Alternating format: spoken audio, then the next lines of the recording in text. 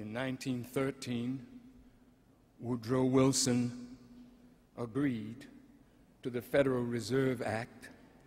Nelson Aldrich, a senator, and Paul Warburg and a few of the Jewish families of Europe with Gentiles took over the monetary policies of the United States.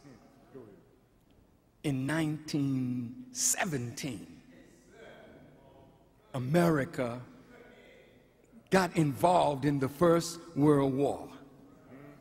In order to fight that war, America had to borrow money, and that's when the debt started. Because when she borrowed money, she had to borrow it from somewhere.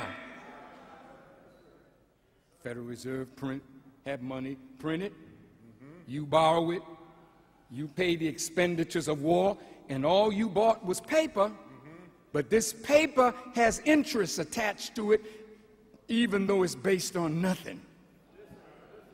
Just try to follow me. Don't go to sleep. You've been asleep for 400 years. It's time to wake up today.